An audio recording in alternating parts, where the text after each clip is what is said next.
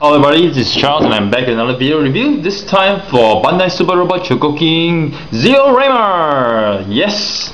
Um, just got this from iShop2Go and uh, let me see. This Chinese wordings, okay, the basically it says Hades project, okay. I think it's called Ming Wang. Ming Wang in Chinese means Hades, Hades, you know, H A D E S. 计划 is project, so Hades project Zeorymer. Alright, so uh, without further ado, I'm just going to show you the robot.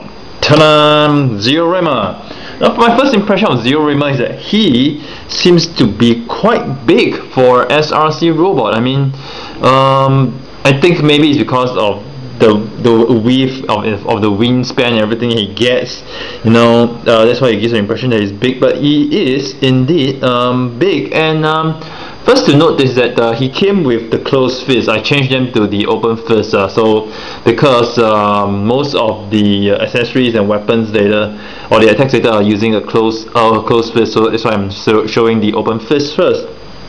And for fans of uh, the uh, this um, anime called uh, King of Braves GaoGaiger, you would think and agree with me that his hands, his claw, the hands reminds you of Genesis GaoGaiger in his uh, Hell and Heaven pose. Does this rem rem remind you of Genesis GaoGaiger? wow. No, I like the claws are very nice and it's really anime accurate. You? I, only, I never know anything much about this anime to be honest. I only did a check on YouTube earlier on and I can see that he has very powerful attacks, uh, which I'll go through in details. Uh, first and first and foremost, uh, I know the con the the important thing that uh, all of you are curious about is diecast content. In terms of diecast content I can tell you the top body everything from the waist upwards is plastic. Totally plastic. The only diecast content you have is this elbow joint over here. This is diecast. And uh, the skirts everything are, are plastic. But the moving downwards I am very sure okay I'm pretty sure in fact that this whole leg assembly, this thigh, the whole leg, uh, minus uh, the whole leg and the toes, alright, maybe not the toes, the whole leg, let me just see the toes. Okay, the toes are not die cast, okay, but inside the toes, the metal part inside the toes are die cast. Uh, this red part is not die cast, but apart from that, this whole leg is die cast. Oh, this white part is not die cast, but the whole leg itself is die cast yeah this whole leg is diecast so there's quite a bit of uh, metal feel to it. And he's really really sturdy. In terms of articulation his head okay oops. About his head? Um, we do get this a spare piece of this. This is plastic but we do get spare piece of this made of uh, rubber. Uh, kudos to Bandai. He always they're always thoughtful in giving us a spare piece uh, in, in case we break ours or in case we do not wish to risk breaking ours. Um, this piece has quite a bit, fair bit of sharp edges mainly here. These are plastic so please be careful because once you break them that's it. Would I prefer them to be made of uh, rubber? The answer is no I would not prefer them to be made of rubber because rubber will warp. So I like them to be made of plastic stays this way but just be careful in case you break them. So head wise uh, limited head rotation but if you pull the head upwards okay you'll be given additional neck rotation uh, neck articulation. Allows you the zero zero ramer okay look further much uh, in other directions. So yeah just gonna keep it here for a while.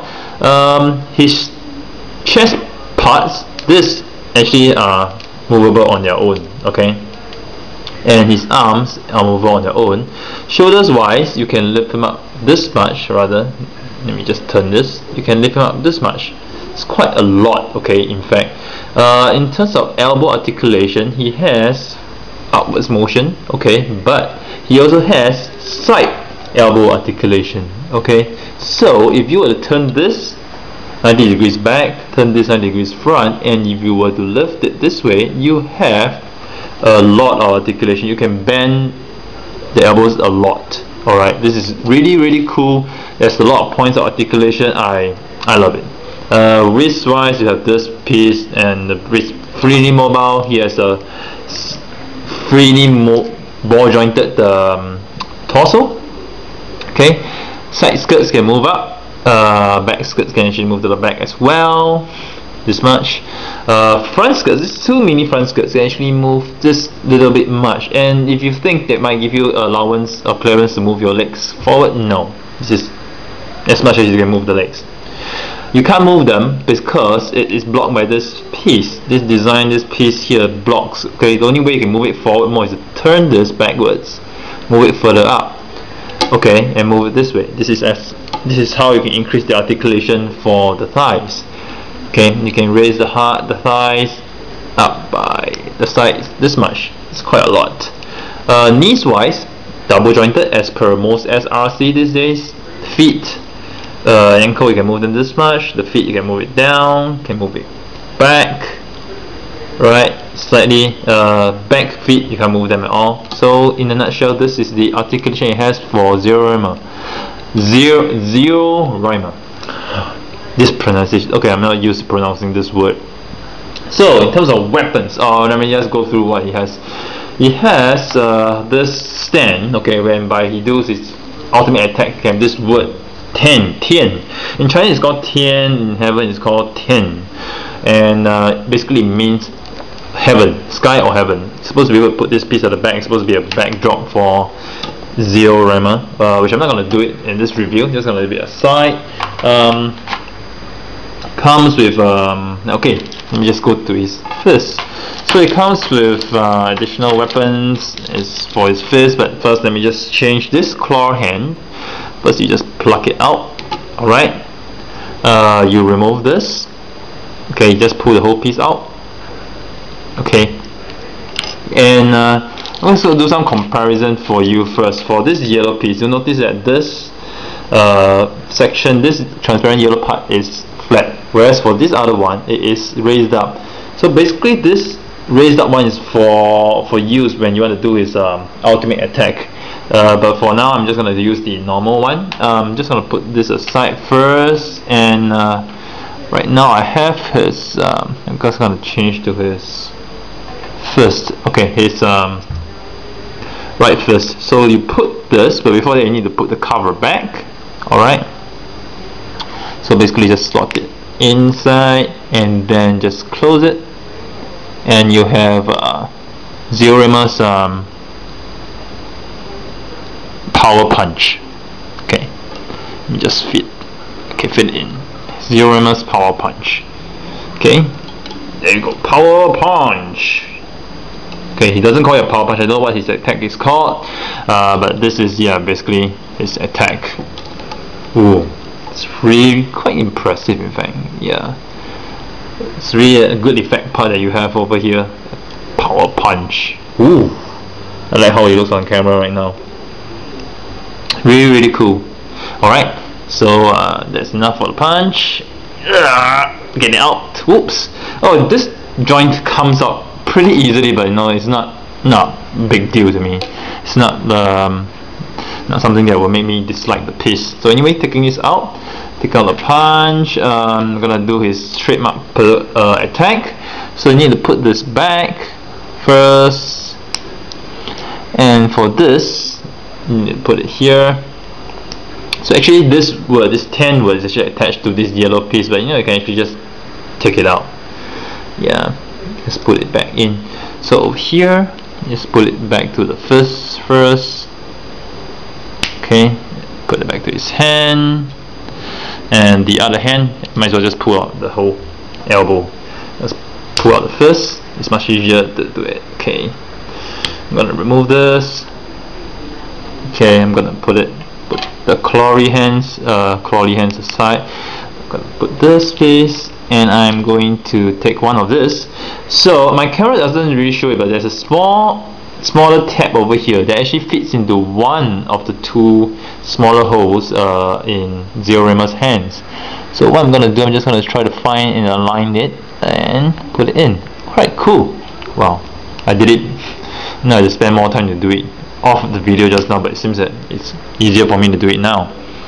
So here I'm going to put in and I'm going to do his uh, trademark attack which I have to raise his hands upwards okay?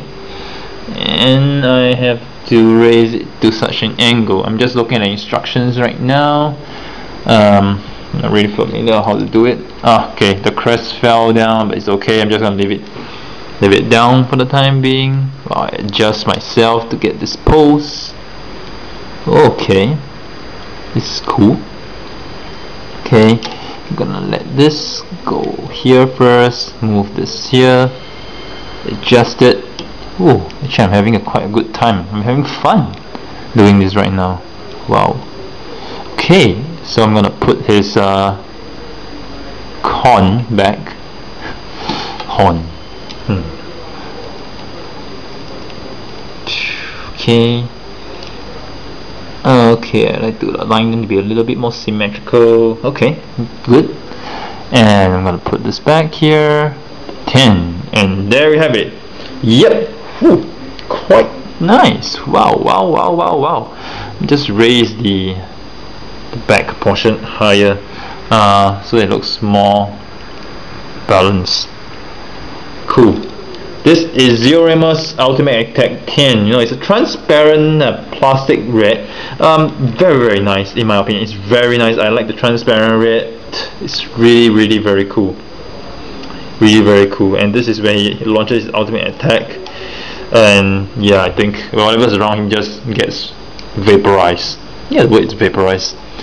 So uh, if you do not wish to show this I mean prelude I mean before he shows this Tian word um, he has this other option hand which is puts in uh, this is the one. Yep I'm just gonna get the other one. So this is the elevated yellow piece. So basically I think this yellow piece becomes bigger when he starts to activate his, his attack. Um, just gonna fit this in here. Well get it in fit it in here and I think he has another attack whereby he really pushes his um, his fist together. I'm just gonna look at the instructions right now. Yeah um, okay. Wow. Okay. Cool. Yep so he places orbs together. Oh yeah that's the correct word for this. His yellow orbs. So he places them together high on his head. No and uh, what I've seen in some video clips on uh, YouTube this power this attack is really powerful. It's like it destroys everything within a particular radius. It's like wow. It's like really crazy massive power attack. No wonder it's called the Hades project. Yep so this is cool. You know I, I, I think this piece is really really cool. I, I love the articulation you have with this piece. I mean uh, the upper body's articulation is really really wonderful and you know for such a robot you want to display in a very very dynamic pose. You really want to display in a dynamic pose rather than just a very simple or rather very conservative pose. You want him to do something big you know something like this. It's really really cool. Yeah you want to do him you want him to do something like this. This is really really cool. I love it I really love it. You know despite the fact that I'm not a fan or rather I'm not familiar with this animation I love the robot. I love what I'm doing uh, I'm playing with right now. Uh, it's really a lot of fun factor for me. It's really really cool. Yep kudos to Bandai for that so here's Charles uh, signing off with yet another Chogokin review. I hope you guys have enjoyed it. Uh, so if you want to get this piece, do visit iShop2Go. They have this piece on sale in their website. So uh, do check out the link in my description. So yes. Um, so here's Charles signing off with yet another Chogokin review. I hope you guys have enjoyed it. Do stay tuned to my channel for more reviews next time.